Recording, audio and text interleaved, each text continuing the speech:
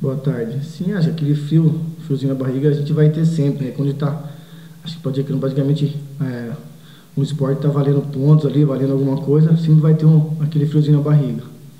E a preparação nossa, acho que acaba praticamente hoje, acho que, acho que o último dia de treinamento, acho que o professor já procurou passar para nós que a gente algumas coisas do adversário, que a gente possa catar isso e colocar em prática no jogo.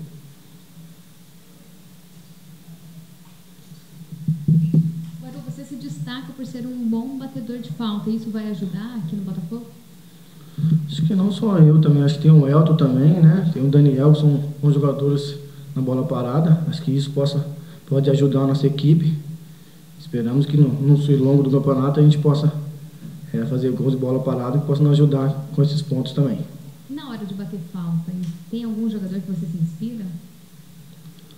Não, acho que não tem um, um que possa me inspirar. Acho que na época, quando eu passei na base do Guarani, praticamente eu passei, acho que cinco anos, praticamente do, do infantil até o profissional.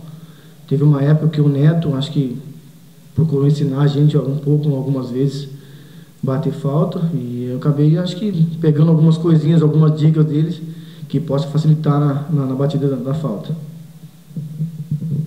Agora, com relação à, à, expectativa do torcedor em cima da sua pessoa, né? Todo mundo, até acho que você lembra, quando você foi apresentado aqui, a sala estava lotada, inclusive tinha mais torcedor que jornalista aqui dentro. É, o que, você pode falar para esse torcedor agora, com a preparação toda encerrada, o time está pronto para jogar, enfim, vocês treinaram o que tinha que treinar.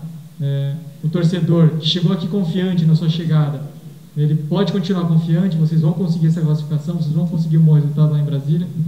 Com certeza, o pensamento de todos é buscar essa classificação. Eu sei, acho que é da responsabilidade que tem, não só de mim, mas que todo jogador do Botafogo, essa pressão que a gente vai precisar para conseguir essa, essa classificação. E acho que é o que a gente pode falar para o torcedor ser confiante, vir nos apoiar sempre é, que a gente vai lutar bastante para buscar essa classificação.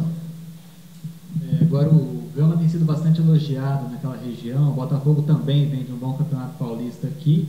O que pode pesar mais agora nesse início de campeonato?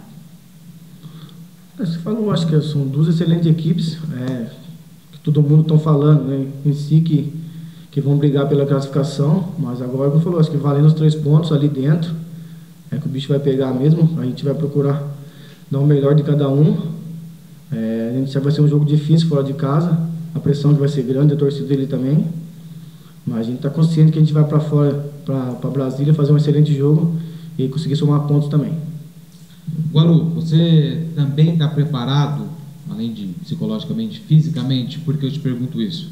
É, no jogo treino contra o Penapolense, que foi onde a gente é, pôde acompanhar, o pessoal marca você, acho que um pouco mais pesado, chega um pouco mais junto. Em Piracicaba foi assim também, em São Carlos, em Leme também, o pessoal chegava mais junto.